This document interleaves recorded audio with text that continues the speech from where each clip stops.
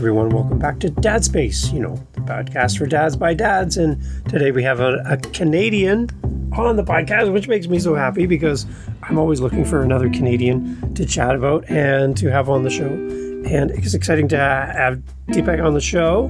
And we're going to talk about his website. He does a lot of great stuff. And uh, yeah, we're also going to be talking about uh, his dad's story. And he's got some stuff to share with us to help us to be healthier dads, which is great. So, hey, welcome to the podcast. Glad to have you here. Yeah, thanks, David. I appreciate being here today. Awesome. Tell everybody where you are in this great big Canadian world of ours. I live just west of Calgary. I live out uh, on an acreage here, so uh, close enough that we can drive in for amenities, but far enough that it's nice and quiet. Beautiful. I love it. That's good stuff. Uh, okay, so we're here on Dad Space, and what I love about what you do is you help people with their health. I'm on your website while we're chatting. There's not one single moose on your website, by the way, just so you know. No, I might, I might have to remedy that. So t- talk us through the website. Talk about what you do and and how you what you do in this world to help people. I'd love to start there. Yeah, absolutely. So if, if we have time, we can come back to my backstory to how I got to what I'm doing. Yeah. Uh, this is my, this is not what I do now. is is not my first career. It's my it's my second. But yeah, essentially, I, I help I help uh, you know uh, moms and dads, uh, you know, be you know change their mindset around aging. You know, so maybe they don't have that same um, they don't have to have that same experience that maybe they witnessed with their parents or their grandparents of what aging looks like. Of uh, you know maybe s- suffering with something for a number of years or being in a home and all that that th- those kinds of things. Or at least if you're going to get to that, not have it in your 60s and 70s, have that happen to you in your 90s and 100s. Uh, so again, work with work work with parents to you know be more present with their kids, healthier so they can keep up with their kids, and uh, and just generally uh, stay younger for longer. Uh, that that that's essentially what it is. Uh, and then one other thing, uh, since we last talked, uh, David, that's something actually relatively new. If I could just Yeah, talk yeah, about that very very quickly. Uh, I find a lot of uh, I've been you know I've been coaching now and doing this sort of thing one way or another for the last eight years. I find a lot of um, newer you know health and wellness coaches uh, struggle with uh, their, you know starting their businesses, uh, getting them off the ground, and uh, I certainly struggled. I made a ton of mistakes, and so now I've actually have a new program too where I also help uh, newer uh, health and wellness and spiritual coaches uh, you know sort of. Uh, uh, cut those mistakes out. Learn from Deepak. Learn from Deepak's dumb mistakes so that you don't have to make them and accelerate your business uh, faster. So that's that's an, a new segment. That's something I'm trying to help these people share their zone of genius so they can help their tribes and their communities. So, but but my but, but you're right. My my core is is helping helping mom and dads be as healthy as possible. Awesome. Normally we do this at the end of the podcast. We're nowhere near that, but tell us the name of your website as well. Uh, DeepakSainiHealth.com. Good. And we'll have links to that in the show notes as well. Um, for parents today, what kind of some of the commonalities are you seeing with the people that you work with around health and parenting? There's got to be some kind of strands that kind of tie client to client, and you're like, I see some similarities as I meet with people. What are some of the things you see? a- absolutely. So, you know, I, I'll start with saying that there's, um, we have a lot of misconceptions in, in society about what health looks like. Uh, rightly or wrongly, it's been influenced by a variety, you know, variety of special interests and that sort of thing. There's a lot of myths, uh, or, you know, uh, lexicon we have for the last 40, 50, 60 years that either A, weren't that true to begin with in the first place, uh, or they've been, you know, new science has come out and actually debunked those things, but we still, people still have these. So part of my role is to just help educate people and get their mindset around thinking like, look, what you read on, you open the internet and you read something like that's probably not true or it's been twisted. And that's not what the research actually showed or that study actually showed, uh, type of thing. So that, that's, that's part of it. But, you know, everyone, whether moms and dads or not, you know, we have a very, uh, stressful society. So, you know, people are stressed, you know, they're not, uh, they're not sleeping well typically. And then there's a lot of hidden sources of stress that people don't even realize. You know, some people will be eating things that, you know, could be quote healthy, but it's not healthy for them. It's not healthy for their, you know, genetic makeup or, you know, even their ancestry and and and that sort of thing. You know, I'll just use one one example, like kale, you know, been recommended as, as this superfood or super healthy food. Yeah, kale is really high in oxalates. If you're sensitive to oxalate, oxalates, like I am, kale is kryptonite to you. So, you know, people have to know these things. So again, it's all very individualized, but you know, people are sleeping, people are stressed. There's a lot of hidden sources of stress, a lot of things we're doing to ourselves that we think we're making good choices, uh, or we don't know and it's actually harming us. So, you know, just trying to educate people on on those sorts of things as well. Good. And then you mentioned at the beginning when we started talking that you're at a different place now uh, with who you are and who you're serving, and that you wanted to kind of jump back to more of the origin story of your your story. Can you take us back there as well? Let's talk about that. Yeah, absolutely. So, yeah, my first career was a CPA. So, uh, you know, count. I did, uh, you know, 20 plus years in uh, corporate finance, corporate accounting, and in, in, uh, in the corporate world. Uh, I was always someone who who struggled with their health. I was always the chubby kid. Uh, at 18 years old, I was morbidly obese, 100 pounds heavier uh, than I am now. I always struggled with an autoimmune condition. I'd be chronically sick all the time, even as an adult. Uh, you know, I get so sick that I, you know, be four to six weeks at a time, uh, or you know, I'd be I'd be sick enough. Like I, I'd be I could pretty much almost always still go to work, but like I couldn't like exercise or even like walk with any sort of pace or anything because I'd start coughing so much. So you just be on this roller coaster of sick and wellness. Uh, but what it really came to a head for me was in 2014. I hurt my back uh, really bad. I had I, I ended up having no flexion. It means I couldn't bend over at the waist. So that makes you know putting on your shoes and socks very difficult. Getting in and out of a chair very difficult. That includes getting you know on and off the toilet. Hmm. Uh, but the real thing, the, my real low point was uh, my youngest daughter was just a baby at that time. I couldn't bend over enough to pick her up out of her crib when she wanted to be picked up. So that was that was my low point. I didn't recognize it myself at the time, uh, but in hindsight, you know, I wasn't golfing anymore. I couldn't run anymore. I could you know barely move, a lot of pain. Couldn't pick up my daughter. I was I was you know in depression. Um, I, I just channeled all all that I had into trying to heal my back, essentially, so I could pick up my kids and, and even my older daughter, you know, play play with her and and be active and that sort of thing. So uh, you know, I just tried everything that I could to heal my back. And it's unfortunate. I like to say that the Western medical system wasted 18 months of my health, run around through the system, uh, ineffective treatments, misdiagnoses, et cetera, et cetera. I took matters into my own hands, found a, a pretty standard modality. You know, maybe maybe back almost oh, I guess that's 10 years ago now uh, or almost 10 years ago, uh, might have been deemed a little bit alternative, at least here in Canada. Uh, but I found a modality, uh, you know, essentially I had to pay out of pocket to, to, heal my back. But in conjunction with that, I also made lifestyle changes, you know, how I slept, nutrition, these sorts of things, um, you know, how I exercised.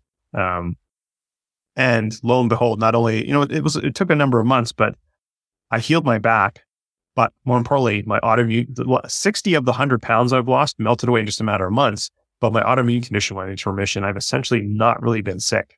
Uh, yeah, I've had a little sore throat or a little sniffles for, you know, a couple days here and there, but essentially I've not been sick like I used to be for like, gosh, almost 10 years now. So that was kind of the turning point. But really, of course, most people only see the outside. They don't know our internal struggles, that sort of thing. But, you know, the weight loss, the rapid weight loss is what got people's attention you know, colleagues, business associates are like, "Hey, what are you doing? Like, hey, can I, can I take you for coffee? Can I buy you lunch? Like, tell me, tell me what's going on here." Yeah. Uh, so you know, I'm like, "Hey, I just read this. I learned this. Read this book, or here's a blog post. Blah blah blah." So I, you know, I, I really started to enjoy that, and we were, and it was a bit of a funny space where I was at work with the company I was at, the you know, the industry I was in. You know, kind of is in a bit of a downturn at that time. And it's like, you know, I enjoy helping these people more. And I was always someone who mentored. I coached youth sports when I was younger, et cetera. So like that just kind of part of part of me. I said, you know what, maybe, maybe I need to do this. So, you know, before this term even existed, you know, I, I started a side, you know, side hustle, right? Yeah. That's everyone knows what that is. That nobody knew what that wasn't, you know, back then. Uh, that wasn't a term. But I started, you know, uh, I got some early certifications, started, uh, you know, you know, evenings and weekends working with people, people who are like me, yeah. weight loss, back pain, weight loss, back pain. But as I evolved myself and as I came through my journey and see like, what's the potential, like there's no reason, like I can't, you know, live healthily uh, you know, controlling my own destiny till 100 and beyond. So I have a publicly stated goal to be a centenarian plus. Uh, so 100, 100 plus. Uh, that's not for everyone. I totally understand it. That's, you know, cool, whatever, whatever's for you. Um, but as I evolved what I want and how I approach my own health, people got start, uh, start to become drawn to me and are more interested now again, not just weight loss or pain relief. And that's part of it, but like how to live healthier, how to, how to extend my health span. You know, it's not about lifespan. You know, modern medicine's amazing and probably keep people alive till 120 plus, but what's the quality of life? Right. You know, do yeah. you want your last 20, 30 years in a home, tubes, et cetera? No, I'm talking about health span. Can we extend our health yeah. span? You know, and, and essentially, you know, the term, you might have heard this term, die as young as possible. Uh, and, and not, not like age wise, but like our body wise. Yeah. uh, you know, type of thing. So yeah, so then that's kind of how I morph my programs and how I work with my people uh, uh, now. So let's go back to our uh, uh, riveting moose stories that we were sharing. There's no way you could have run from that moose back in the day, struggling health wise the way you were. You weren't. You could never do that with the dog, uh, right? Like you couldn't. You couldn't run to that extent. I, when I was when I was in the depths of my pain and everything, I would not have been able to run. Oh. And honestly, honestly, and and uh, I probably I never thought about those questions. So you know, I thank you for bringing this up, David. I've had to think about we, we I, I didn't grow up with a dog, neither did my wife, and have having a dog part of our family is relatively new and it's only come in the last few years. I don't think if I was still like a, a dog would even be on the table. Like I, I wouldn't even be able to. Like I mean, I work from I work from home. I work for myself, and you know, and we have a small dog, but you know, just even picking up a 25 pound dog, like I don't think I would have been able to do that. Yeah. You know, so we probably wouldn't even have a dog. I wouldn't even been in that position if I, you know, hadn't healed myself. Uh, So yeah, yeah, that's kind of an interesting point. I like that. So how important is it to you as a dad to be healthy for your kids, for yourself, for your family?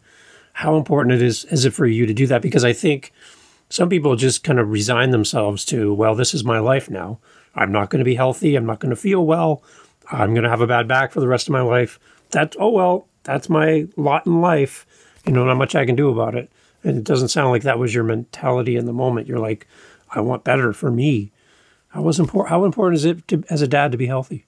Uh, well, absolutely. I'm, I'm going to answer this in a couple, two different ways there, for, uh, David. So first off, the first thing I work on with my clients is like finding their, you know, so for me, my my my why or my purpose is to never feel like how I did back in 2014. I never want to feel that way again. So that's that's always my guiding light that guides, you know, and am I perfect? No, of course not. But you know, that kind of guides my decisions and how I how I live my life. So when I work with my clients, that's what I really like to get to uh, at the beginning. Like, what is your why? Is it you know, so you can be around, you know, for you know little Timmy's, uh, you know, softball games? Is it you want to walk your daughter down the aisle? or more importantly, be able to dance at the wedding, have the mobility to dance, or whatever the case may be for anyone, right? So I think that's super important to make people really hone into that because that makes the the decisions uh, a little bit easier down the road when you're trying to make uh, lifestyle changes. I think you know all, all, parents, but you know this is the this is the dad show, so you know. And, and we typically are not all not always of course there's all blended families and all sorts of situations but you know typically looked at as the leaders of our family in in, in some regard and I think it's super important that we are able to be there, not only physically to like open the jar of pickles or get the, you know, the Christmas decorations down from the top shelf or whatever the case may be, be able to pick up the kids, uh, play with them, teach them how to ride a bike. Uh, you know, uh, I, I, I don't, my, my kids kind of got, grew out of this, but you know, I used to pace them you know, when they were, when I, you know, they want to do these like five, these kids, 5k runs, stuff like I, I pace them and run with them, you know, and that, this sort of thing. I think that's super important.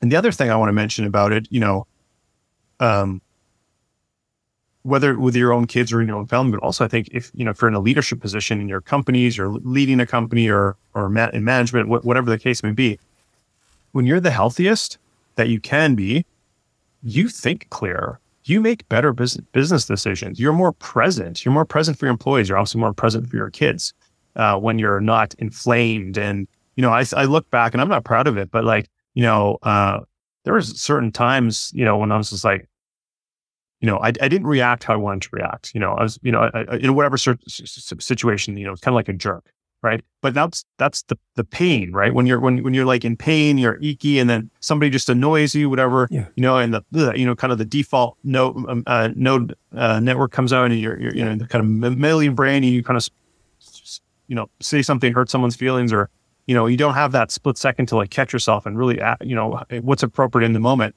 because you're all clouded with pain or whatever, or, or, or sickness or whatever the case may be. So that's certainly uh, improve. You know, there's obviously personal development work and stuff like that as well that I've done.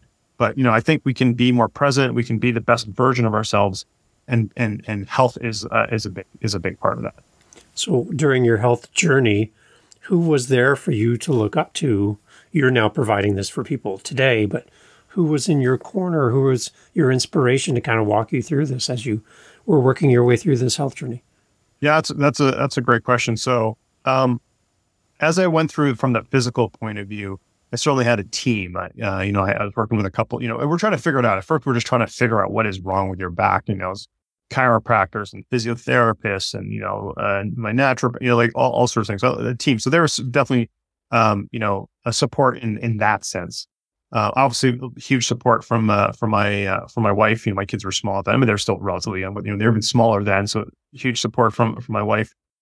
But, you know, I'd already gone before the back injury into, uh, a little bit of a, um, really, really interested performance. So I started following a couple, you know, uh, people online, influencers, if you will, um, from a performance point of view. And then as I was trying to figure out how to heal, once the injury happened, trying to figure out how to heal my back, some of these same people, uh, you know, kind of more uh, lean into a sort of uh, advanced, you know, uh, health modalities, you know, uh, some people use the term biohacking, uh, whatever. And these are the people I leaned on. And some of these people have become my mentors now. I've taken their courses. I've met them in person, uh, that sort of thing. So at the time when I was going through it, I didn't, I didn't know them, but they were certainly, uh, you know, uh, someone to just kind of like, it's possible. You know, they're sharing information of new technologies, new modalities, some, you know, a variety of doctors and experts and PhDs who are like working on the type of things that like might, might be able to help me. So that that was a bit of an inspiration. But but really, honestly, it was again. That's why I go back to what I said earlier. Like I, where I help my clients with really trying to find that why or that that purpose. I just had this innate like I want to get back. I want to be able to. I don't want to be, you know, not you know. Obviously, people have more serious injuries than than I had, but I didn't want to be someone who couldn't be present, who couldn't you know pick up my daughter, who couldn't you know teach him how to ride a bike, play soccer, you know, kick the ball around, you know, pass the football around in the backyard. I didn't want that. So like it, a lot of it came from, from myself. Um, and, but I understand that's not everyone has that drive. And, and that's why I think having mentors or, or coaches or whatever the case may be is, uh, can be so powerful as well. So somebody who comes to your website goes through and goes, you know, this is, you are the person I need. Um, I reach out to you. What is it like to start working with you? Can you kind of take us behind the curtain a little bit? What is it?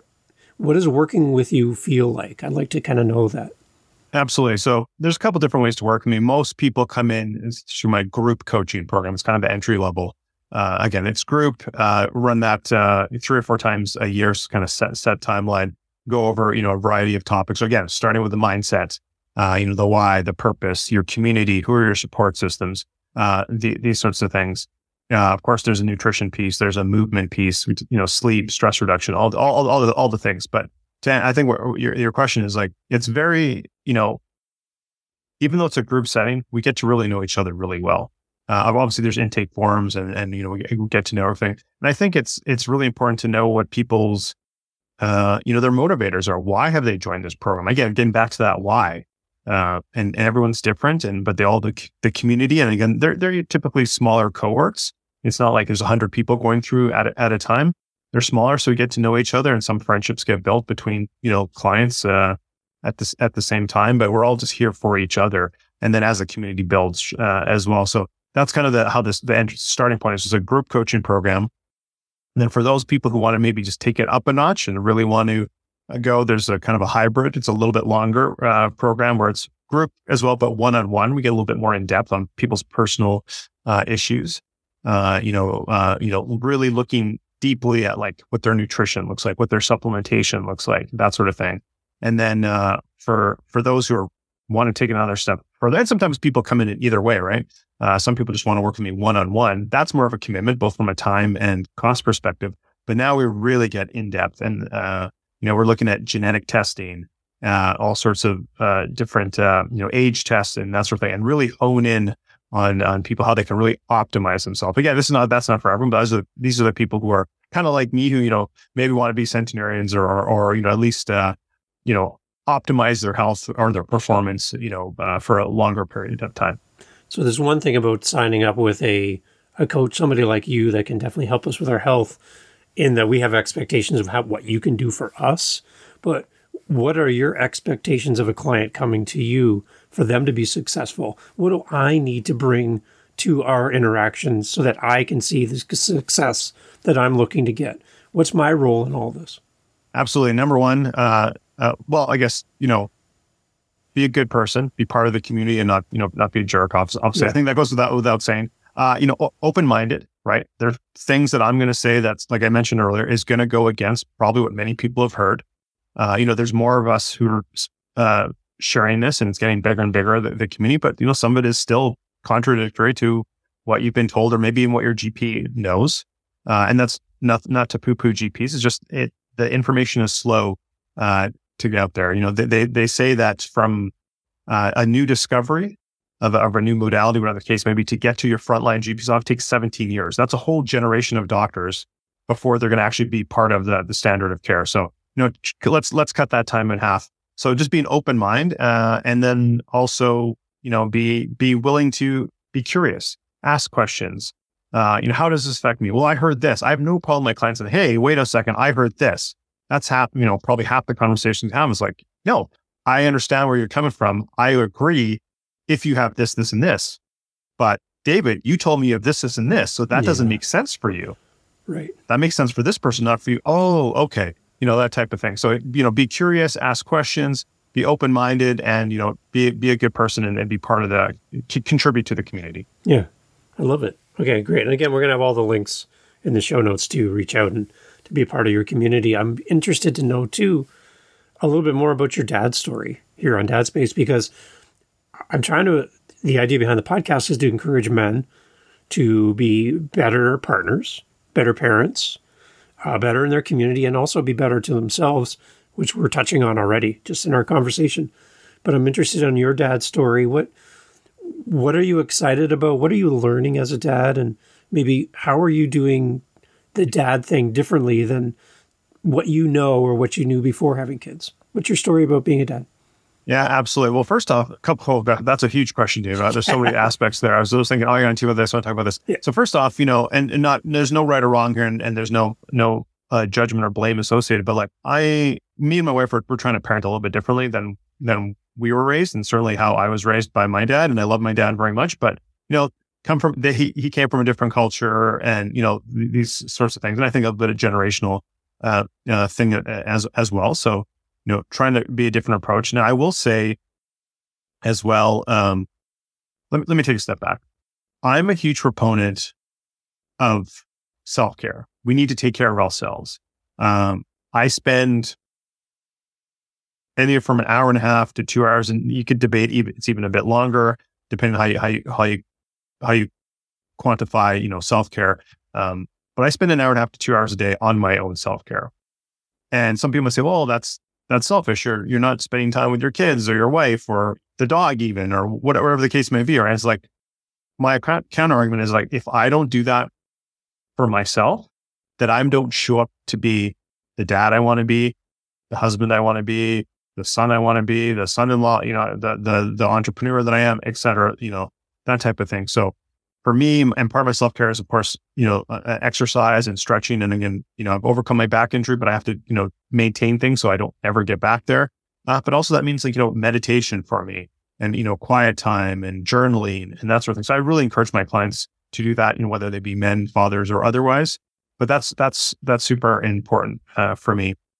Uh, and I certainly, and because of that, through my own self development, self growth, you know, um, hey, do I get angry at my kids all the time. But you know that that uh, how long it takes me that that fuse, if you will, has right. gone much much longer. Yeah. Uh, that type of thing. And the other thing that comes to mind is my as my oldest is uh, she'll be uh, she'll be officially a teenager in uh, two weeks. Oh boy! So and you know she's already in her mind has been a teenager for a couple years. So it's interesting how that. Uh, I guess with both my kids, but more so my older one, how that how our relationship dynamic has changed, right? Because she's wants to spend a little bit more time alone, uh, you know, or with her friends, and not so much as the, as our family unit. She, you know, she's got a little bit of a, and she gets this from me, so I totally, I totally t- honor that. Like she's got a bit of a sarcastic humor, mm-hmm. you know, which, which sometimes, you know, like is for the for the most time, it's like, oh, you know, she gives me a zinger back. I'm like, that's a good one. That's a good one. yeah, you got me. You got you. But, you know, if I'm not, if I haven't done my work or whatever, I'm stressed and it's like that zinger back might be like, that's, that's disrespectful. Like, what, what are you doing here? You know, so you know, so again, it, it, it's a work in progress, but yeah, so it's, it's interesting how, you know, our relationship or my relationship or how I parent or how, you know, what we, you know, we together as me and my wife, but you know, you know, how I be a dad is like evolves, and we have to be open to that evolve, and our kids change, and you know that sort of thing. I never really got that like earlier, and I think it's probably only the last maybe maybe the last two years where it's kind of like you know we have to like give them a little bit more leeway and a little bit more uh, runway to, for them to find themselves and and that sort of thing. And you know, again, it's it's like you know, what did I wish I had? Or, you know, when I was, you know, I was like, oh gosh, I can't remember from like, you know, 30 years ago, you know, you know, type of thing. And it's, and our, and our society and our world has completely changed, right? We didn't have social media and all this stuff to deal with now. So it's, you know, it's a, it's a learning process.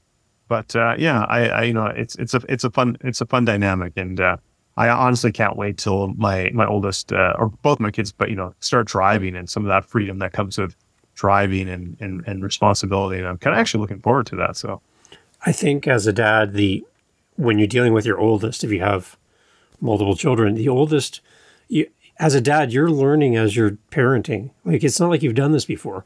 This is your first child, and you're learning what it is to be, you know, having your child become a teenager. You've never done this before. You really haven't experienced this. You have no point of reference other than books or podcasts or uh, other people who have parented in your family or your circle you really haven't done this before. So you're learning as you go. And it's kind of expected that you just know how to do what you need to do in the moment with really no preparation. Again, going back to walking out of the hospital with my child, my oldest, nobody followed me out of the hospital. You know, as a new parent with my firstborn, they just assume you know what you're doing. So have a nice day. I, I, I, right? assume, I assume, your wife came with you. Yeah, too. she, she did. She was there. Yeah, okay. she, she showed up for that. Yeah, she was great. Um, but yeah, the, the, idea that nobody follows you home, nobody checks up on you, nobody makes you do a test. You know, answer these five questions and let you leave with your baby. Nope, they're just like, see you. You know, good luck. You're like, how am I supposed to learn how to be a a new father, a father of a teenager, a father of a twenty year old? You're learning as you're doing it in real time. And I think we need to give ourselves a little bit of grace as dads that you're not going to have them all perfect. You're not going to have the answer to everything. So don't even try, but just do your best with what you know and pull in from different resources. Listen to other dads and develop yeah. community. That's where I find my strength. Yeah, you know, it's funny you should mention that, David. I just uh, connected with uh, probably one of the one of the friends I've known the longest. I think we met in grade three or grade four, and uh, and we you know went all the way through high school and everything together. And he lives in a different province now, and I don't uh, don't talk to him too often. But we did get a chance to connect uh, just uh, just after Christmas, so just you know a few few months ago. And uh, and he had kids young, and we had kids a little bit late. So he already has like adults, like you know, like they're out of the house and you know university and that sort of thing. Uh, so it, it's been interesting from afar, you know, social media and you know the odd connection here and there over the years uh, of like seeing his relationship with his kids are so much older. Like we're the same. I mean, he's a year older than me, but we're essentially the same age, and his kids are like so much older than mine. And like he's already gone through these things. So like yeah, again, those resources, right? Yeah. Uh, and someone who's of the same generation. I think it's a bit different. Like you know, talking to our parents or our aunts and uncles and how they, you know, how they did parenting. I think you know there's something to be learned from that, but also I think people who are of your own generation so it's, it's different. Things have changed, right? It's again, social media, et cetera, et cetera. Like it's totally different. So I, I think a variety, a variety of sources is, is, is good for anything. Yeah. Yeah. And just build your community, pull in from different resources. You get different perspective. And again, that's the whole thing about you don't know what you don't know.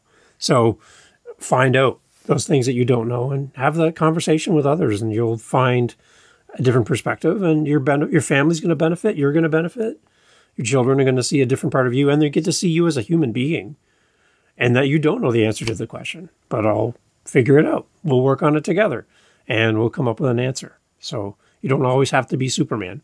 You can you can acknowledge your kryptonite, I guess, and say, I in this absolutely. situation, I have no idea. I've never done this before. So don't be afraid to to lean on that. The one thing we talked about in our little pre-chat before we uh, got to today was you mentioned you had a story around something that happened to you in the past in the hospital, and you wouldn't give me a lot of detail about it. You're like, just write that down because maybe we'll cover it in our episode together. So I'm I have it on my sheet. I've been curious about this since yeah, since we happy to share it. it. And yeah. and, and I, I I'm open to sharing it, and I don't talk about it overly too often. But again, it's it not one of my finer points. So again, rewind back. This is to my my uh, before I hurt my back. This is you know 2011. My my oldest daughter uh, was born, and you know I had just probably six six maybe eight months ago had uh, gotten a promotion at the company I was working at at that time, and I was now it was my first role in management, and I was really trying to prove myself and all this uh, you know that sort of thing, and so then, uh, you know, and uh, you know, uh, luckily at that company, they get five days of paternity leave, uh, you know, for that sort of thing. Uh, so you know, we we, you know, my wife ha- ha- had my daughter, and uh, and you know, I was I was so in that, you know, at, at, again, 2011, I'm unhealthy, I'm overweight, I'm stressed out. I don't know any of the technique, or I don't I might have known some, but I certainly not all of them. I certainly wasn't applying them. Like all the things I, I work on with my clients, uh, I was not doing. Mm. I was not doing these things. I was so on that mindset of like climbing the corporate ladder to be that resource, to be that Superman, to provide in that sense from a monetary point of view. Uh, that so I did take my five days of paternity leave, but I spread it all out. I remember my wife was in the hospital. We she had given birth, and you know she just she's resting there and, and, and she's sleeping and the baby's sleeping and I'm there and I'm doing work. I'm sitting there, I'm doing work and like, oh, she's quiet. I go out in the hall and I'm doing work. I'm like, you know, in hindsight, I was like, what the hell am I doing? Yeah. It, it didn't matter. Why did I think that, you know, trying to prove something to my bosses or, or this, you know, the senior management team that I was going to give me the next promotion or that, or that, that next, that year's bonus or something. That's a bunch of BS. Yeah. I was so dumb. And one of my greatest regrets was, uh, was, was doing that and not being more present I didn't even know how to be present, really. Uh, I think, you know, and honestly. And then, uh, yeah, and then like I said, I took my five days, but I spaced them. I was like, oh, there's an important meeting, so I'm going to go into work today, and then I'll take tomorrow off. And like, I should have just. So when, when my second daughter came along, I was at a different company, and they didn't have quite as generous policy, uh, and I just said, this is non-negotiable. Like we're we're we're we're, we're this is part. If you want me to hire me, because uh, again, uh, we, we, knew the baby was coming when when we were, and I was like, uh, you can keep it on the down low or whatever, but I want five, uh, you know, paternity days, and I'm going to take two weeks vacation. So I'm taking three weeks off. I'm I'm just putting all the, or this is not happening there. And they're like, okay. So for my second child, I took three weeks off and just stayed at home and did all the things and helped with my older one while my wife was recovering and all that sort of thing. And that was like such a better decision. So again, that first story uh, is like probably one of my most embarrassed, you know, most embarrassed. Uh, that's how I acted uh, and, not not not proud of how that. But I didn't I didn't know any better, and I've certainly known more since. And again, through a lot of you know knowledge and growth, but also the self work of you know how to be more present and uh, and that sort of thing. So that that's I I sometimes like to share that story just to probably there's some dads who are listening who like maybe see themselves in that pre that that older version of Deepak and nobody has to be like me how I am now, but hopefully there's some some insight or, or some inspiration there to like maybe look at how things a little bit differently.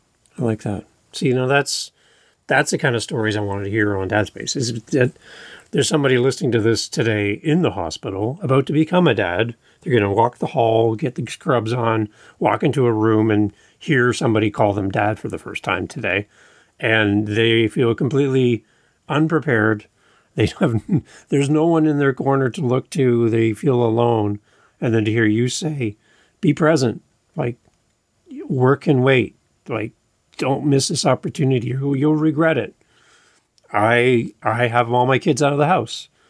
And I would say to any dad that's frustrated with the clutter and the noise and the busyness of life with kids in the home, there's going to be a day like me when you won't lock the front door and go to bed knowing that all the kids are under one roof because they've gone on to school, they've gone on in life, and they're no longer going to be home. You're not going to have that moment ever again. So I'll never have that for my three kids because they're all out of the house. So right. just my wife and I. So cherish the moments of the kind of the mundane, the things that seem like they're a lot of nothing in the moment because those days are not always going to be there. You think about it 17 years roughly, you know, with your kids, 17 summers, 17 birthdays, 17 whatevers, and then they're on to something else. That's not a lot of time when you look at it over the period of time. So don't be in a hurry. Don't be in a hurry to to see your kids grow up quickly. Can you just move? Let's go. Come on, get bigger, go faster. Yeah. Slow down. David, there's a stat, and it might be changing a little bit with you know the economy and more kids having to come back in living with their parents and everything. But essentially, the stat is, um, this is maybe a couple years old now, but that eighty percent of the time you're going to spend with your parents is before the age of eighteen. Wow. Eighty percent of the time you're spending with your parents. So like really cherish. You know, it goes both ways. Both the parents cherishing their kids, but also the kids cherishing their parents as well. Um, and that's something that's really as both me, my wife and I, as our as our parents are getting older and starting to have health issues and that sort of thing. It's like that's really like how much more quality time do we have with them for Yeah. family vacations and that that sort of thing. Can I share uh, Oh, please. one more uh, one more tidbit and then one more funny story? I think, Yeah, I think yeah. the audience will find. I was going to go back to the hospital for that for that first time dad. So the, the one tidbit at first is uh, um, when you if you're if, if you've taken those you know the classes the pre baby classes and those type of thing, um, you know like you know how to hold the baby, you know all of how to change, you know all that kind of stuff. They don't teach you like what it's like to cut the cord. Nope. I I had no idea. I I, I was just like, I knew I wanted to do it, and they handed me the scissors, and like I don't know like how thick this is or how much te- how much pressure I have to give. Like like anyway, anyway, it, that worked fine. But that's some like there's got to be some way they can put that in there. Yeah. Uh, Come on. But and and and a lot of that here's here's a, here's the funny story. So again, with my with my first first daughter, she never cooperated during any of the ultrasounds. We had no idea if we were having a boy or girl. Really? And, and I, you know, it got to the point where like we and we wanted to know, but it got to the point where it's like this is just silly. After the fourth time, like no, she's turned this way, and we can't. Or, or it's they don't know right Yeah. like they're turned this way all, all we're getting is a bum shot we don't you know you know uh, type of thing. So when so we're like, okay, yeah, it got to the point where it's like, this is ridiculous. We'll just be whatever it is. We just want a healthy baby. Boy, girl, doesn't matter. Um, so uh, anyway, when my wife uh, gave uh, birth, it was a very busy day at the hospital. The doctor actually never came to deliver. One of the nurses had to deliver because they just never made it in, in time. Wow. So I'm I'm right there, and the nurse is delivering the baby, and of course, you know, the baby comes out with fluid and blood and all that Yeah. sort of, sort of thing. And the nurse has her hand underneath the baby's bum, and in between her her legs is like her gloved finger, but all covered in fluid and just like the tip of her finger sticking out. So she's like, "Congratulations, it's a girl," and I'm like, I just see her finger right in that spot. I'm like, you know, first, you a know, half a second instance, like I'm pretty sure that's boy parts. Uh, and then and then I kind of oh oh then I realized that's her finger, you know, like the type of thing. So that's that's one of my one of my uh, kind of funny stories where it was like, you know, we don't know what is it. It's like you have a you have a girl. I'm like, that's a boy. Can we get a second Oh, no, that's a girl. Yeah, right. That's okay. a girl. That's a girl. Okay. I love it. I love it. Yeah. See, that's the thing. So you, again, yeah, I had the same experience. I had no idea what to expect walking into that room.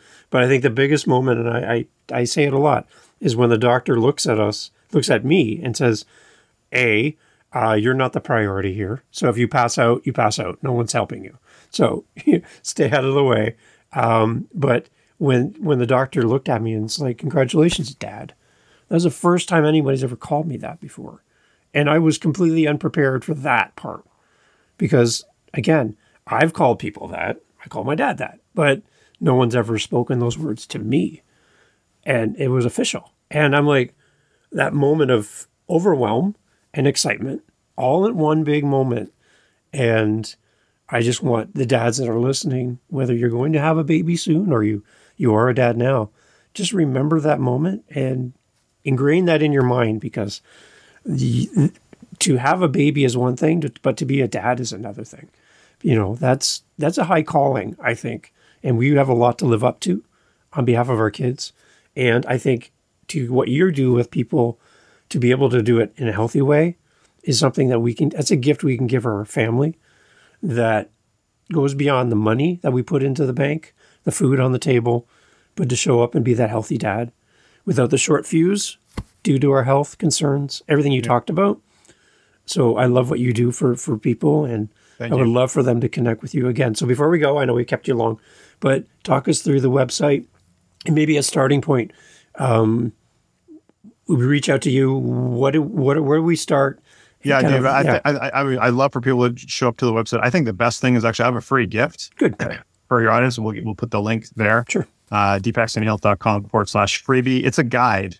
Uh, it has kind of seven seven healthy habits that people can get into, and so a little, little bit of a you know explanation of why it's important. and then a 30 day tracker. So oh. here's my advice. People don't do all seven at one time. Pick one, maybe two, track it for 30 days. If it resonates with you, it's probably going to become a lifelong habit. If it doesn't, that's fine. Either way, then go back and pick another one and try that for 30 days. So get people to slowly build, you know, healthy habits for their healthy aging and for their longevity. So, uh, I, you know, grab that guide. Uh, that puts you, uh, you know, into my ecosystem, and that's probably the best way for people to sort of uh, figure out what I'm all about and know what I'm doing. I, you know, I drop content every day, uh, so you know, there's always there's always something. Okay, and where are you most active on social media? Uh, probably LinkedIn and Facebook. Uh, okay. but again, yeah, I, I, I, you know, to my audience, uh, I, I, you know, direct email to my audience uh, five days a week, sometimes six, awesome. depending on what's going on, uh, type of thing. So yeah, grab that guide, join the ecosystem, and you'll kind of learn uh, what what I'm all about and and my my philosophy on health. I love it, and everything there, all the links to social media, everything is on your website, which is awesome. And uh, again, I just appreciate you coming on and and sharing your journey and helping dads and helping helping our community. Thank you for all the stuff you do. No, I, I, I appreciate that, Dave, and I, and I want to thank you because I think this is one one space where, uh, you know, yesterday at, at, the time of this recording, I know it's going to release. Yesterday was International Women's Day, and right. that's fantastic. Again, I have many women in my life and three that live in my in my household. And you know, when when we got our dog, he's he's a male. It was good to get a little testosterone more in, in the house. Uh, but you know, sometimes sometimes to our own fault, we put all this armor on. Uh, I you know, dad needs need need recognition as well, not, yeah. not just not just the mom. So I appreciate uh, what you're trying to do here with this podcast as well, and I appreciate you having me on. Yeah, and it's great value for all of us, and there's a lot for us to consider, and maybe listen back to the episode again. So again, thank you so much for doing this, and everybody, as always, all the information is in the show notes.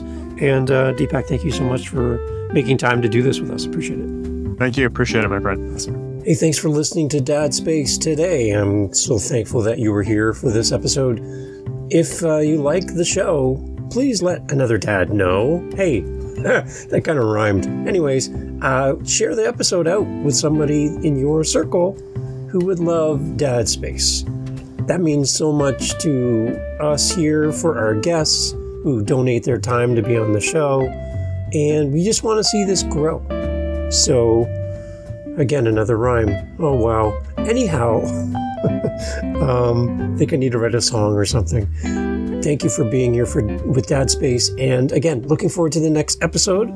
Look forward to having you here again with us. And if we can help you in any way, if you have a great guest idea for the show, a topic that we you would love us to cover, we would love to do that here on Dad Space. So thanks for listening and thanks for being part of the community. And to you, Dad, thank you for listening and thank you for sharing Dad Space catch you on the next one. Take care. So, hey, if you're looking for some bonus content, you're still here, right? Yeah. So, uh, we started the podcast talking about moose. And you're like, Dave, what's a moose? Uh, if you're not in North America, you might not know what a moose is, but uh, we had some moose stories we shared at the beginning of the podcast. We thought we'd put it here at the end. So if you want some bonus content and you want to learn more about moose, and uh, people have been who have been chased by moose, which apparently we both have. Here's a little extra content for you to make you smile and to make you aware of moose. And again, no moose have been harmed in the making of this podcast. Here we go. And and I have a moose in my backyard almost what, at least once a week. And uh, if we have time, uh, you know, I can tell you about uh, the story when earlier this winter when uh, me and my dog were chased by a mama moose. Okay, so I've been chased by a moose as well. I thought I was the only one in the world, but this is great. So we can swap stories. Let's, let's start with it because some people listening are like, "A, what's a moose?" Because they're listening in another country, they don't have those. Um, but and then how big these things are. I was amazed when I was chased. But tell us the moose story. Come on, it's a great way to start. Oh yeah, okay. So for those who might not know, uh, I think you get moose all over North America, or at least Canada, U.S. for sure. Um, they're very large animals. Uh, even the female, grown female, is going to be larger than a horse, uh, or you know, big as a Clydesdale. Maybe if people are familiar with Clydesdales, probably about that size. A little bit different body shape, skinnier legs, but that tall, that pr- pretty big. Uh, so they they come all all the time. Again, I live I live uh, kind of uh, out in the country and and that sort of thing. Uh, there's only like 12 houses on our street, and you know we got big big two two acres, so the houses are are, are still spaced out on the street. So uh, it was early. It was earlier this winter. It's around eight o'clock. My kids had gone out to catch the bus. Luckily, the bus stop is just the next door neighbor's house. Uh, and and so that, that was convenient. So I was walking my dog, and we live kind of at the bottom of the hill. So we're, you know, I'm walking him up the hill to do his business or whatever, and uh, and then we kind of got th- three quarters way up and turn around, time to come back because the bus is going to be here soon. And uh, and then he starts growling at something.